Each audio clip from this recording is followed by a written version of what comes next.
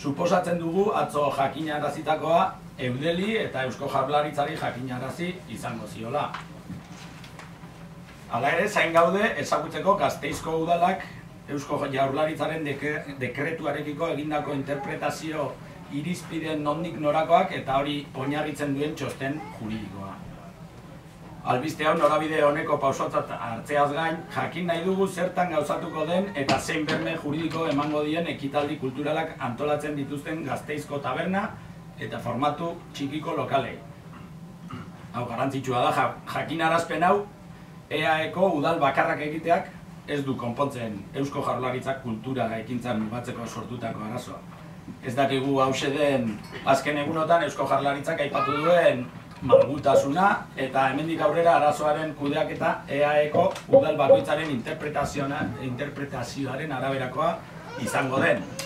Gainera, gazteizko udalak aipatu du eunda puntu bat artikulua ekintzen komunikazioarekin lotutakoa dagoena, baina ez du eser esaten kultura ekintzak mugatzean datzan eunda bost artikuluaz. Berrezten dugu arazoa konpontzeko irten bide honena dela dekretua bera atzera botatzea edo behintzat kultura ekintzak mugatzen dituen alderdia. Halako ekintzak antolatzen dituen lokalari kalterik ez erabiteko. Arteak ireki plataformaren apustua da gure gizartean kultura bultzatzen duen ostalaritza lokalentzat, lizentziatikat, babesa eta segurtasun juridikoa emango dien kategoria bat sortzea.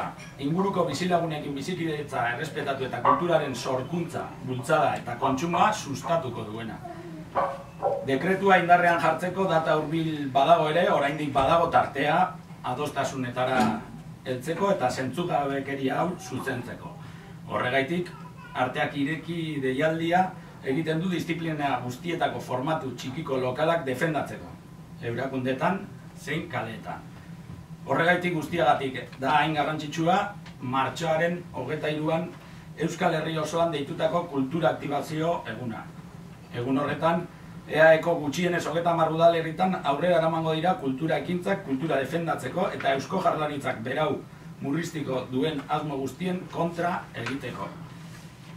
Badakigu gehiago ere izango direla, baina dagoeneko udarre herri hauetan daude konfirmatuta dekretu honen kontrako eta kulturaren aldeko kultura ekintzak martxoaren hogeta irugan. Eta hemen daukazu ez errenda.